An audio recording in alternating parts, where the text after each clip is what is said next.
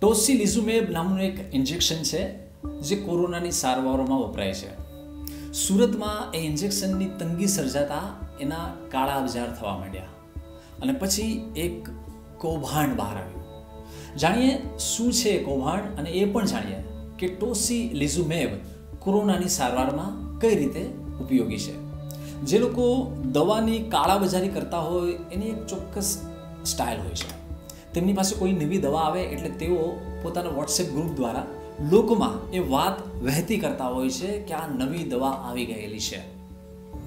Indian express અખબારના અહેવાલના આધારે વાત કરીએ તો ફૂડ્સ એન્ડ ડ્રગ્સ કંટ્રોલ એડમિનિસ્ટ્રેશનના જે અધિકારીઓ છે એફડીસીના અધિકારીઓ છે તેમને માલુમ પડ્યું કે સુરતના સાકેત ફાર્માસ્યુટિકલ્સના જે ઉમા કેજરીવાલ છે, તેમના વોટ્સએપમાં પણ કંઈક આ પ્રકારનો મેસેજ છે. તેમણે છટકું ગોઠવીને એક ડમી ગ્રાહક ઉમા કેજરીવાલ પાસે મોકલ્યો.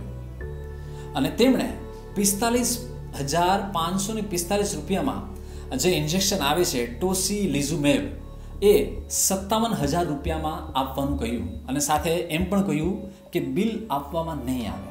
આ રીતે છટકું ગોઠવતા માલુમ પડ્યું કે ટોસી લિઝુમેબ જે ઇન્જેક્શન છે એનું એક બહુ મોટું કાળા બજારનું કૌભાંડ છે અને નિર્ધારિત કિંમત કરતાં અનેક ગણી કિંમતમાં એ ઇન્જેક્શન બજારમાં વેચાઈ રહ્યા છે.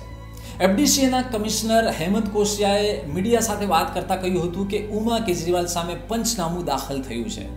તેમની પાસે છૂટકમાં દવા વેચવાનું જે લાયસન્સ હોવું જોઈએ એ પણ નહોતું. કોશિયાએ એમ પણ કહ્યું કે આ એક સહિયારું કૌભાંડ છે અને એના તાર અમદાવાદથી લઈને સુરત સુધી જોડાયેલા છે. અમદાવાદની સિવિલ હોસ્પિટલ સાથે સંકળાયેલા એક ફાર્માસિસ્ટ પણ આ કૌભાંડમાં સામેલ છે. સિવિલ હોસ્પિટલ સાથે સંકળાયેલા ફાર્માસિસ્ટ પાસેથી કોરું કટ, એટલે કે બ્લેન્ક પ્રિસ્ક્રિપ્શન મેળવીને આ જે ઓફિશિયલ સપ્લાય ચેન હતી ઇન્જેક્શનની. એ તોડી નાખવામાં આવી હતી અને ઇન્જેક્શન બારોબાર કાળા બજારમાં વેચવામાં આવતા હતા.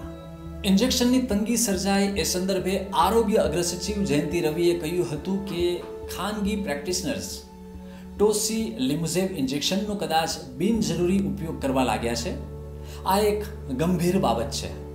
ઇન્ડિયન મેડિકલ એસોસિએશનને તેમના આ નિવેદન સામે વાંધો પડ્યો હતો.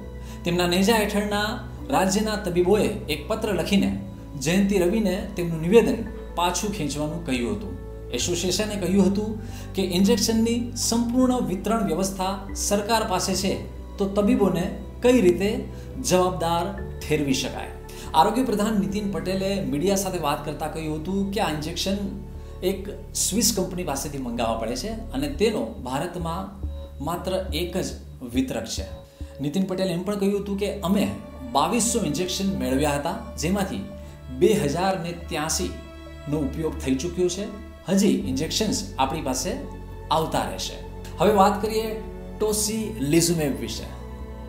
જોન્સ હોપકિન્સ આર્થરાઇટિસ સેન્ટરના જણાવ્યા અનુસાર, ટોસિલિઝુમેબ એ રૂમેટોઇડ આર્થરાઇટિસના પુખ્ત વયના દર્દીઓની સારવારમાં વપરાય છે અને તેને એક્ટેમરા તરીકે પણ ઓળખવામાં આવે છે. ટોસિલિઝુમેબ એ પ્રતિરોધક ક્ષમતા વધારતી દવા છે. કોરોનાની સારવારમાં તેની ઉપયોગિતા જણાતા કોરોનાના ઉપચારમાં પણ તેનો ઉપયોગ કરવાની મંજૂરી આપવામાં આવી હતી.